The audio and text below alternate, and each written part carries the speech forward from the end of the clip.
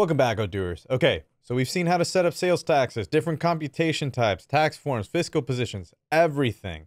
Now, finally, we're going to see how easy it is to use these sales taxes on quotations in Odoo. So let's jump back into our database to see all of that in action.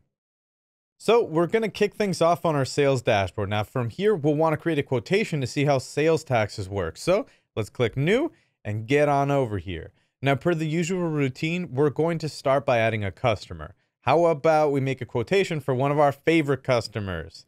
Susie customer, a very real customer. Perfect.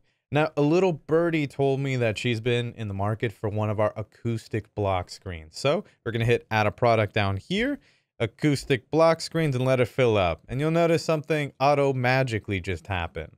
Now over here inside of the taxes column, our default 15% tax has automatically been applied because no custom customer tax has been configured on the product form and no particular fiscal position has been configured on the contact form either. Great. If you don't know what those mean, please check out part two of the tutorial. But I'm actually sorry, I was buzzing there. I just noticed. Uh, she's told me that she just moved to Canada. Good for her. All right, so in that case, let's go ahead and change this tax on our order. So we're actually just gonna click into the tax area. We're gonna close that one out. And you'll notice from this dropdown, we can select it. Now here we have our 5% Canada tax. And once that we're set up with all of that, we're ready to go. And we configured that one in our last video. And once that we hit confirm over here for this, boom, we're done. But let me show you something. If we click up here into customer preview, we can actually see what that looks like for them.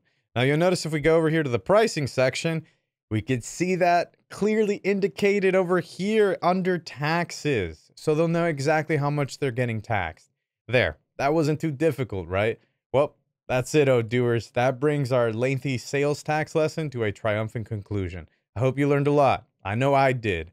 And remember, if you want to learn even more about the Odoo sales application or any of the other awesome apps, be sure to check out our other tutorial videos and our docs. That's all for now, folks. Take it easy. And I'll see you in the next one.